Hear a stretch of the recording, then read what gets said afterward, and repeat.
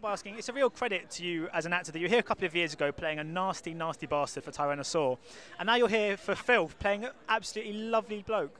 But is there one that you enjoy portraying more, the kind of nasty or the, or the nice side of acting? No, I enjoy if it's well written and it's a good film, then I enjoy the character. There's nothing worse than playing a character in a badly written film. It's, it's, the, it's the totality, really. If it's a good film and a good script, I enjoy it. And I mean, it must be great for you to, because I mean, you've got John's here, and um, you know, Shirley's here, and everyone's here tonight. Obviously, James McAvoy's here as well. It must be great to have this opportunity to come together and, and, see a lot of faces that you probably don't get the chance to see for the rest of the year. Yeah, I mean, the funny thing about acting is it's very intimate. You share, you share time, you share three or four months with people when you're making a film.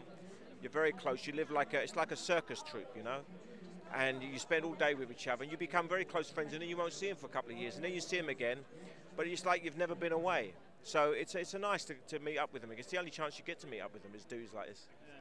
And my final question, I was just wondering, how important is it that we all come together on this night to just celebrate the kind of wonderment of, of British independent cinema?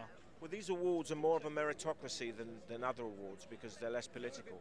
You can't create a campaign to get to get nominated for this. It's just based on the merit of the film itself, and, and that's very healthy and, and, and, and should be encouraged. And does that extend to the kind of the atmosphere amongst the group? Because everyone seems to be in, in very good spirits tonight. Yeah, well, we've all been in the game for years, so uh, we all know each other. We've all worked with each other, so it's a big jolly for us. So there'll be a lot of moe, uh, I'm sure, after, after oh, the event. Yeah, loads of it, loads of it. Brilliant, thanks so much, much appreciated.